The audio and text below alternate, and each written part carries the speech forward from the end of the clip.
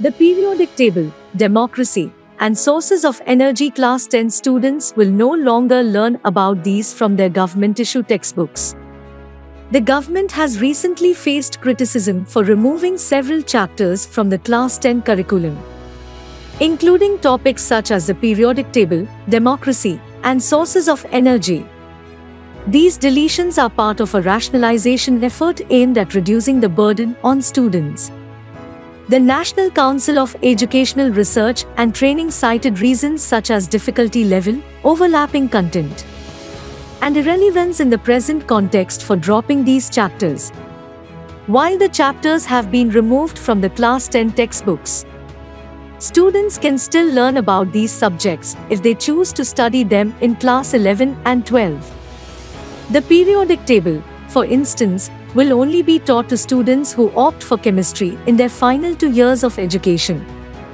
However, this means that many students may not have exposure to these important topics unless they pursue further studies in the relevant subjects. The removal of the theory of evolution from the Class 10 curriculum earlier this year had already raised concerns. With scientists and educators expressing their dismay through an open letter. The government, however, dismissed the criticism as propaganda and stated that students can find information about Darwin's theory on various websites. They also pointed out that the theory is already included in the Class 12 syllabus. Critics argue that these deletions limit students' access to crucial knowledge and undermine the holistic development of their understanding. The periodic table, for example, is regarded as a significant achievement in chemistry and plays a fundamental role in explaining the properties of substances.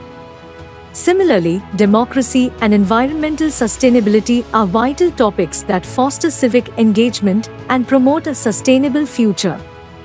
The impact of these curriculum changes on students' overall education and scientific literacy remains a subject of debate.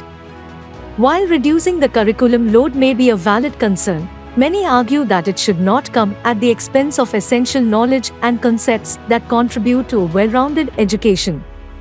For more such news and updates subscribe to our YouTube channel.